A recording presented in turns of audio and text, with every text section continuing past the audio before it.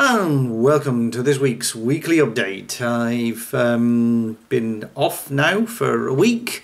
Yes, uh, only another week and a day to go uh, before uh, I have to go back to work.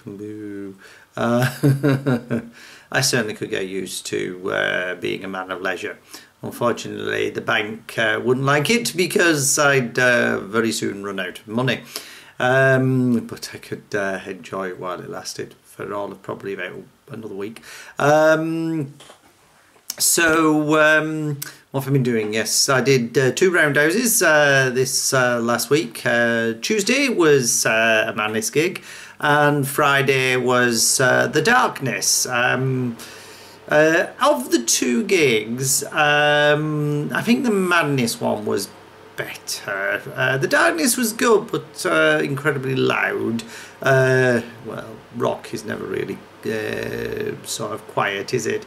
Um, both good, but madness probably had the slight edge over uh, over the darkness. Um, don't tell anybody though, uh, especially if they're a darkness fan.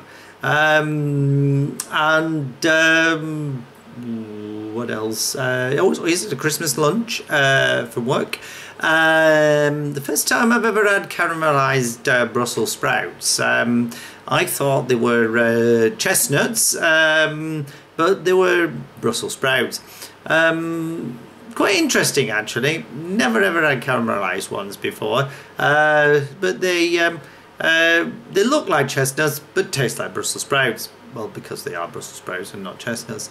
Um, so uh, next week is uh, Christmas week, or this week actually, because I'm recording this on Monday. Um, so um, uh, uh it will be a fun-packed, festive uh, week. Um, going to pantomime on Friday. More on that uh, in next week's update.